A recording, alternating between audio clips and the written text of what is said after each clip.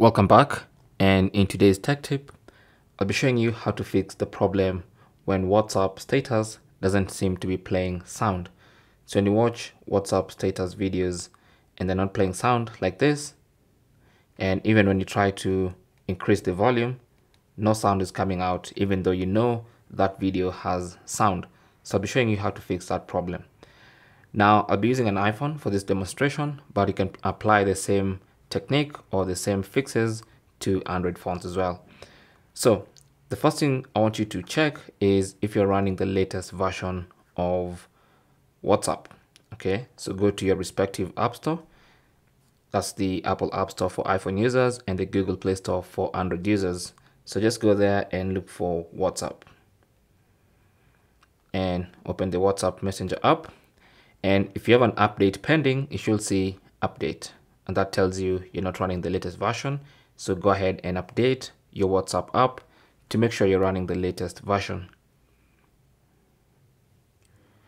Once it's updated, you can now tap on open to relaunch WhatsApp like that. And then now you can try again. So let's go to the same video. Try to increase the volume. If that still doesn't work, then you can go to uh, the settings of your phone and clear the cache for WhatsApp. Okay, so on iPhone, go to settings. Under settings, go to general. Under general, go to iPhone storage and then look for WhatsApp. Now, Android users have a more straightforward way of clearing cache for apps. You can just go to the apps section, go to WhatsApp and tap on a button to clear cache. But for iPhone users, you have to go through this process. And then once you open WhatsApp, simply tap on offload app. That's going to offload the app. And then once the offload is complete, you can now tap on reinstall app. And that's going to clear all the cache and reinstall the app.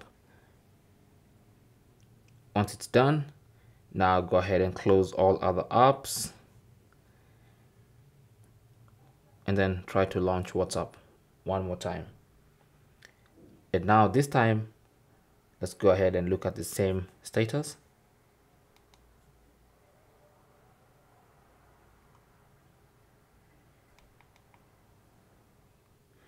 And if that still doesn't work, then go ahead and restart your phone. Okay, so for iPhone users, it's pretty straightforward. Just go ahead and switch off and then I'll turn it back on after a couple of seconds. So even if you have an Android phone, just go ahead and restart.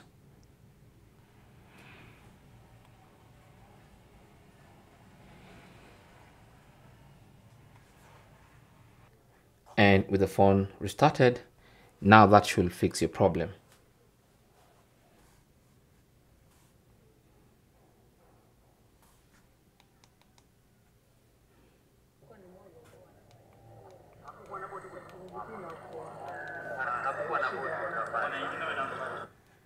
So at least one of those methods should help you fix your problem. Thanks for watching. Leave your comments and questions down below and good luck.